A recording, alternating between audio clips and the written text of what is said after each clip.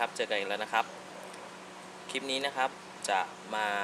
พูดถึงการฝึกละกันนะครับ มีคนเคยกล่าวไว้ว่าการฝึกสุนัขต้องเข้มแข็งดุแข็งแรง เสียงดัง ฟังชัด ไม่ นั่ง หมอบ คอย นั่ง คอย คอยกระหมอบ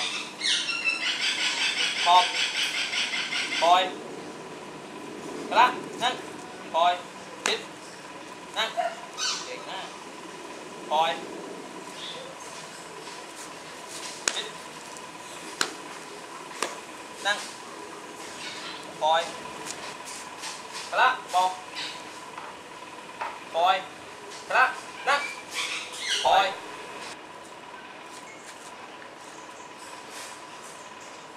กระบอกคอยมอบคอย ครับ ถามว่าถ้าเจ้าของหลาย ๆ ท่านมีทางเลือก อยากจะต้องใช้เสียงเข้มกับสุนัขของตัวเองหรือเปล่า อยากจะต้องเสียงดังดังขึ้นดังขึ้น ถ้ามันไม่เชื่ออย่างนี้หรือเปล่านะครับ เช่นหลายๆบ้านเนี่ยจะเข้าใจว่าถ้าสั่งนั่งแล้วไม่นั่งต้องดังขึ้นอีก เช่น นั่ง ไม่นั่ง ไม่นั่งนะครับ หรือว่าหมอบ ไม่หมอบ ไม่หมอบ นะครับ หลายๆบ้านก็จะเข้าใจว่าถ้าไม่เชื่อก็ต้องดุขึ้น ดังขึ้น เข้มขึ้น แต่วันนี้ครับผมมีทางเลือก บางทีการฝึกเนี่ยถ้าเราพลิกแพงได้นะครับ มันก็จะทำให้น้องหมาสนุกไปด้วย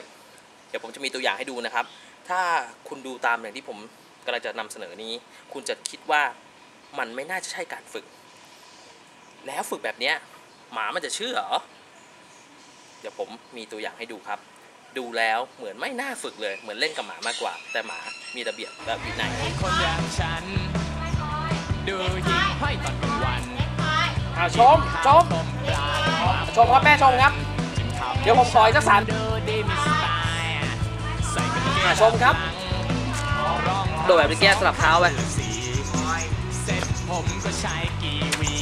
สปรีดสจีดคิดอ้าวว่าแน่แล้วเมื่อกี้เห็นโดดได้อยู่อ่าคร บสองรอบเปล่าห้าสายปิงวังยมน่านหรือแม่น้ำนายครบแล้วชมอธิบางไงพี่ก็ไม่เออ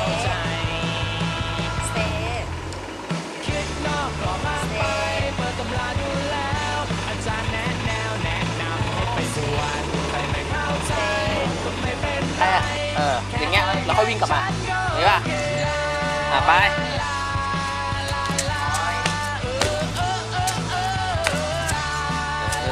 เออได้เว้ยเออ